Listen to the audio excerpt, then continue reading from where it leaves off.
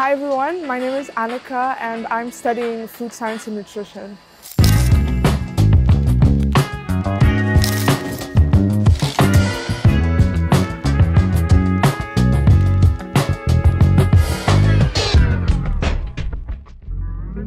So I'm heading to a lecture um, on the module nutrients and sensory properties and basically we, we did a lab on nutritional analysis and we were basically analyzing um, the content of different nutrients in a product that we've chosen and we're basically just kind of learning the science behind it right now. So Leeds as a city, it's a very student-friendly city and has a very vibrant atmosphere and I knew it would give me the sense of belonging.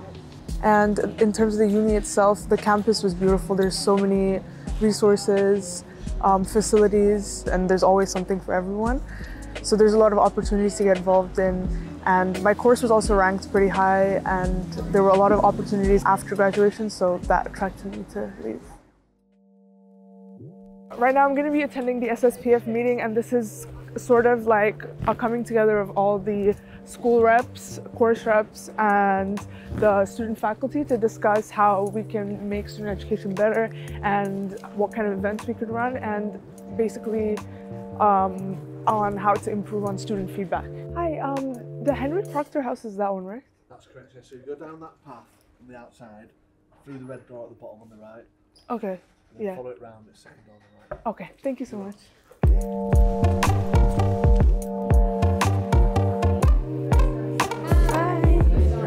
Thanks for joining everybody. Um, so this is the second SSPF. These, um, hopefully as you already know, these sessions are set up because of you guys giving your time and energy to sort of uh, communicate with your peers, but also us, so sort of to try and link up. I've always been a very sciencey person. I've always loved science, even in high school, especially biology, and I was it was one of my strengths as well. And I love food, so food and science, like it's basically two of my favorite things. My dad actually works in the industry, and I did get to learn a bit about food development concept from him, and that's kind of what motivated me to pursue it further. So we're headed to the Caffè Nero at the Roger Stevens building. I'm meeting up with my group for one of my modules, um, Nutrients and Sensory Properties, and we are going to discuss um, a project for an ami- amino acid titration.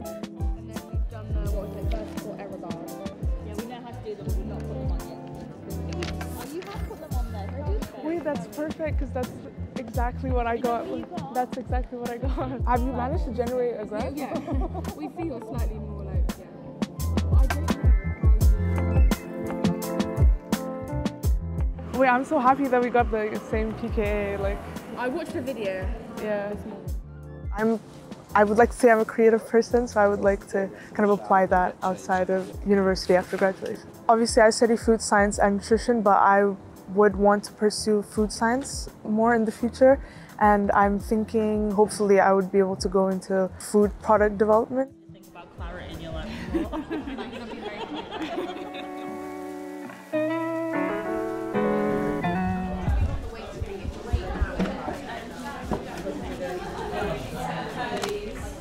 So we're in the food science and nutrition common room right now, and this is like a hidden gem for me. And this is where I come in between lectures and labs to study and catch up on work. And it's also where I come sometimes to just eat lunch as well.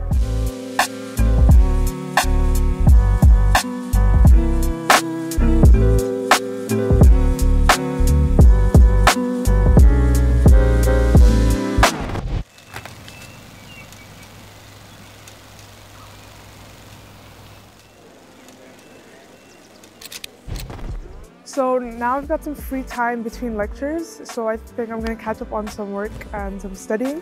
So we're headed off to the Edward Boyle Library.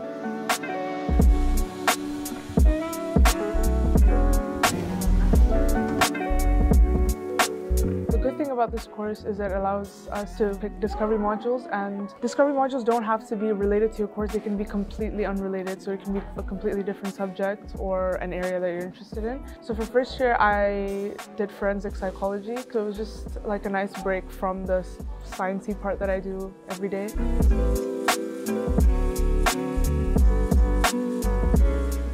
Now I have a lab session where I'm going to be continuing on some work um, for Lucy module.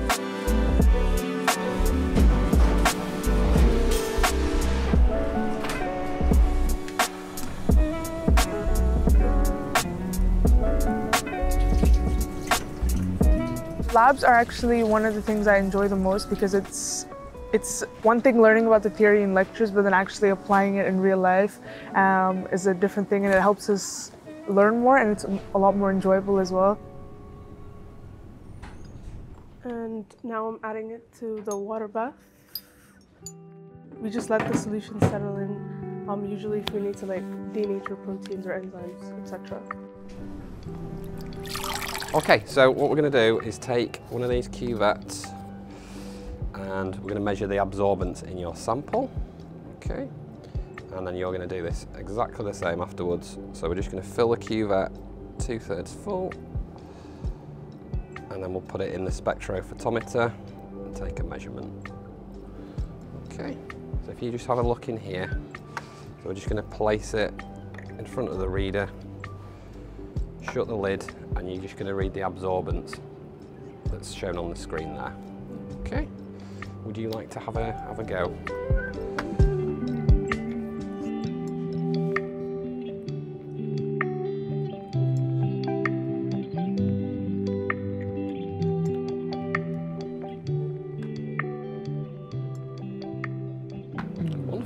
Just going to see it on. And to end the day off, um, I'll be going to a social at the library pub um, for, and this is for the Link to Leeds um, ambassador program. Now here at the library, where I'm going to be attending the um, Link to Leeds Ambassador Social. This is like an informal social where I get to meet the other ambassadors, and there are new ambassadors as well, so we just kind of familiarize ourselves and just make new friends. Thank you so much for joining me today. I hope this has been useful and hope to see you around.